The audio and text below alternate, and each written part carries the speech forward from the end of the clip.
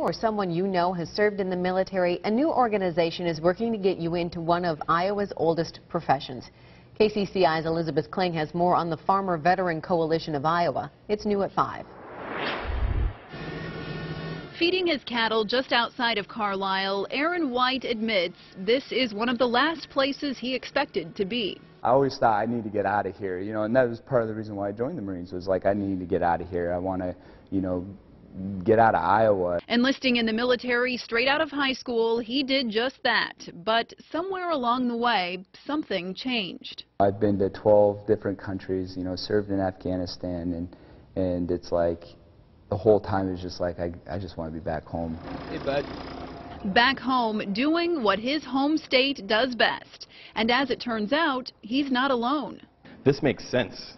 It makes sense for these veterans to be in agriculture. They're used to uh, a job that's very demanding, uh, requires independent thinking. Ed Cox is with Iowa's Farmer Veteran Coalition, an organization working to help military vets like Aaron get started in agriculture, whether that means finding land and equipment or navigating the assistance programs to pay for it. There's never been an easy time to get into farming.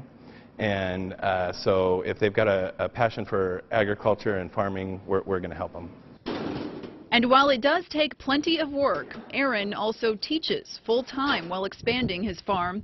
He says the cattle market or corn prices aren't his only motivation.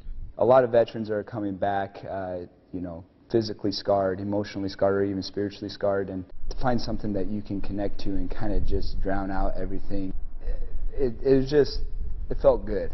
The Farmer Veteran Coalition is holding free workshops across the state over the next few months for anyone who is interested. The next one is set for February 20th in Ottumwa, and for more information you can go to iowafarmerveteran.org. Back to you. Thank you, Elizabeth.